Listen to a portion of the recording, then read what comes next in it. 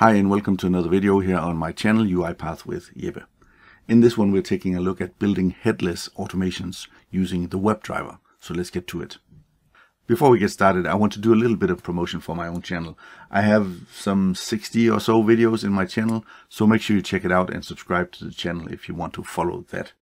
Uh, but a few weeks ago, I did a poll on the channel, uh, and I wanted to ask you guys what should the next video be and you guys voted. Thank you for that.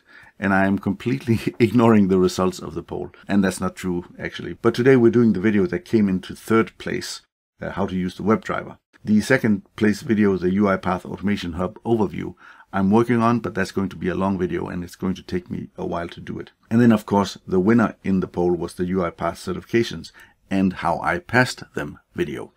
And I'm working on that as well. Uh, and that should be out in a week or two. But I want to build a little bit of excitement around this video because I'm going to do a giveaway and I'll tell you more about that at the end of this video. So make sure you watch all the way to the end. But today we're going to go with the third place video, how to use the WebDriver. So let's uh, do that and switch into Studio. And I've already built a very simple automation here. And it's a browser-based automation because headless automations are typically browser-based automations, at least when you're talking about the WebDriver. This automation is very simple. It opens a browser, goes into uh, ebay.com, types into the search box, uh, I'm looking for a Weber Q3200 cover, that's a cover for my grill, and then it clicks the search uh, button. Then it clicks the sort options uh, drop-down list and clicks uh, that I want to sort by the lowest price first. Then it takes the first item in the list and gets the price range for that item saves that value into a text price variable, and then writes a text file to my desktop containing nothing but that price. And then it closes the browser. So this is a very, very simple automation, but let's try and run it. So I just click uh, the debug file button here, and a browser should open up.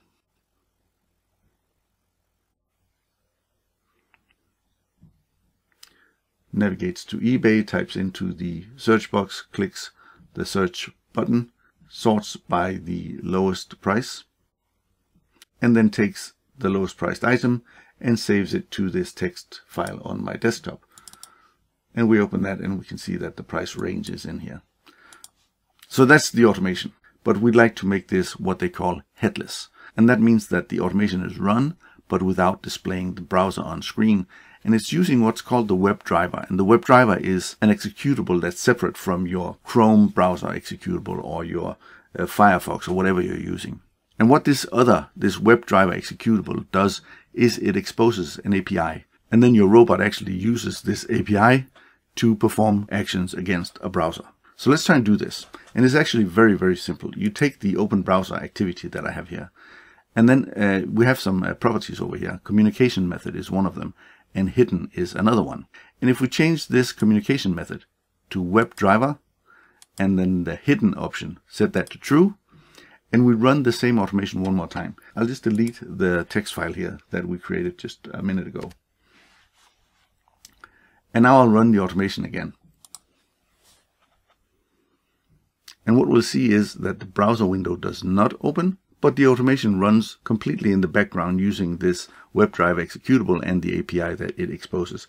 And then in just a few seconds, we should see that text file appear just as when we were using the browser. And there we go. There's the text file, and we can open it just to confirm that it has data in it and everything is good. So that's the basics of it. Now, in some instances, you'll need to do a little bit of setup in order to get this to work. And there are two ways of setting this up. There's an automatic way and there's a manual way. And I have run into instances where the automatic option didn't really work, so I would have to go down the manual route. And it's very simple actually. So I'll show you how to do both now. And since it has already been set up on this machine, what I'm going to do is I'm going to pull up my virtual machine here. And on this machine, the web uh, driver has not been configured. And instead of um, having to deploy this automation and set up a process in Orchestrator and all of that, what I'm going to do is I'm going to enable remote debugging. And remote debugging is simply a way of running an automation on another machine directly from within Studio. This is a relatively new feature that comes in really, really handy sometimes. And I've made another video about that and I'll link to it in the description below and also at the end of this video I'll give you a reminder to watch this video. But what I'll do now is I'll just go to the remote debugging option here, go and configure remote debugging, and I'll just tell it to use an unattended robot. And the unattended robot in this case is going to be my virtual machine here. That means if I disable this uh, WebDriver communication method and also disable the hidden option and now run this automation, it's going to run on the virtual machine and not on my local machine. So let's try and see if that works. I start the automation and it has to upload the automation to that machine. So it's going to take maybe a second or two longer, but it goes fairly quickly actually. Let's switch to the virtual machine.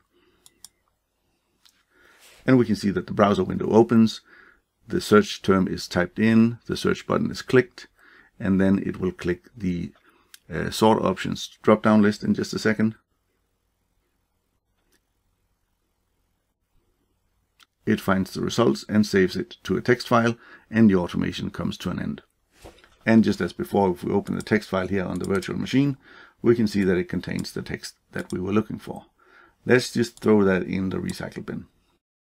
So what we'd like to do now is run this in headless mode on the virtual machine. And what we need to do is we need to configure the WebDriver executable. And what we need to do is we simply go to the machine that we want to configure it on. We open a browser and we search for Chrome WebDriver. Then we select this page where we can download the WebDriver for Chrome in this case. And then we will download the latest stable release. Then we will select, in this case, the Windows option, the win32.zip, download that file, open the file, and then I just uh, right click and copy the file. And then here in my Windows Explorer, I'll go to my C drive. I'll create a new folder called WebDriver. And I'll paste in the file. Now we've downloaded the WebDriver and placed it in this folder. The last thing we need to do is we need to configure the environment variables so the system will know where to find the WebDriver. So we exit the folder, close the Windows Explorer, go to the Start button, and then we type in environment, and we can now edit the system environment variables. Go to that, click the environment variables button, and in the system variables down here, we'll find the path property. We'll edit that, and we can see that it has a number of uh, paths listed here and we want to add a new one. Now if you follow the instructions on the UiPath website, they actually make a mistake there because they select, I think it's the top one and then select browse and that means that this path will actually be overwritten. So instead I'll create a new one and then click browse and then I'll go to this PC, my C drive and the WebDriver folder. Click OK and we can see that this is added to the bottom of the list I'll click OK and OK and OK. And now the path has been configured. Now the robot service needs to be restarted in order for it to discover where the WebDriver is located. So we'll go to Services, find the UiPath robot service, restart it, and close the window. And now we're good to go. So what happens now if I go to my studio again and I select the communication method and select WebDriver and I enable the hidden property and make sure, of course, that remote debugging is still activated. What should happen now is that the automation should run on the virtual PC, but without the browser being displayed. And that means that this will run for a few seconds and then the text file should magically appear on our desktop. So let's try and run it. And we can see here in the output window that uh, things are running as expected. It's uh, uploading the project to the virtual machine and all of that. And then in just a few seconds, we should see the file appear on the desktop. And there we go. There's the eBay data that we wanted to download. Now I said there are two ways to configure this, the manual way and the automatic way. And the automatic way is far easier than what I just showed you. So let me just rewind a little bit and reset the, the stuff we just did. In fact, I will go to my C drive, delete the WebDriver folder. I'll also delete the file that we created.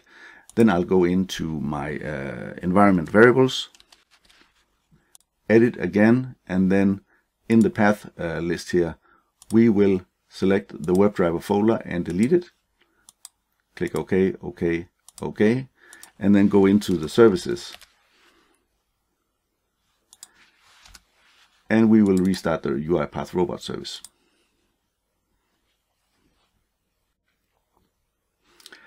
And just to demonstrate that now it has actually been uninstalled completely, let's run the automation one more time. And I'll just I'll just bring my uh, studio up a little bit so we can see the output window. So I'll click run. And now what we should see is that this automation is not going to work because the WebDriver is no longer installed on my virtual machine.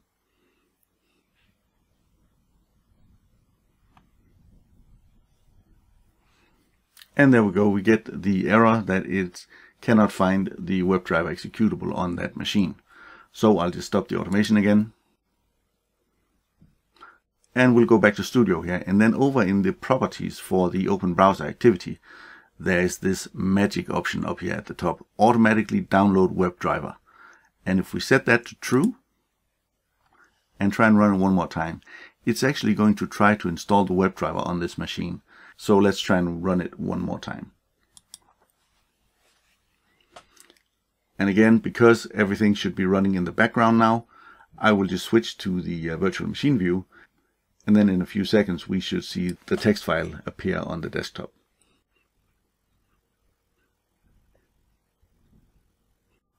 And the automation stopped and the file appeared.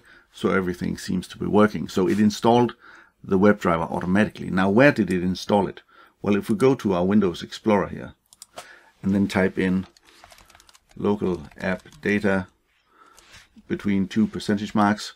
We go to the local app data for this current user, and then we have a UiPath folder, and in that UiPath folder we have a WebDriver exe folder, and that is where it placed the driver for Chrome. Now, had we used a different browser, for example, Firefox, it would have downloaded the Firefox driver and placed it in this folder.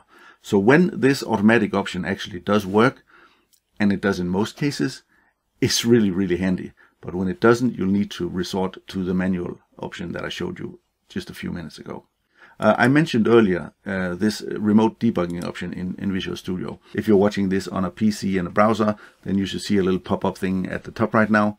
Otherwise, find the link to that video in the description. Also, make sure that if you did like this video, give it a thumbs up. It really does mean a lot to my channel and to me. And also subscribe to my channel because in a couple of weeks, I'll be doing a giveaway. And the prize in the giveaway is a voucher for a certification test for the Advanced Developer exam. And that has a value of around $200. It's going to be one attempt for the exam. So if you pass it, then you are a UiPath Advanced Developer.